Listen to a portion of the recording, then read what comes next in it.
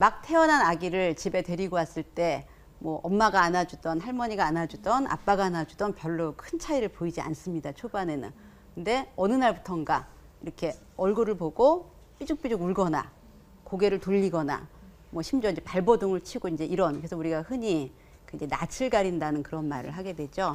자 이런 현상은 어떤 아이의 발달의 어떤 변화 때문에 보이는 모습일까요? 자, 어떤 이- 이유가 뭘까요? 문제가 네. 어렵습니다. 네. 여고동 창맘팀. 네, 마이크 들고 말씀해 주십시오. 네.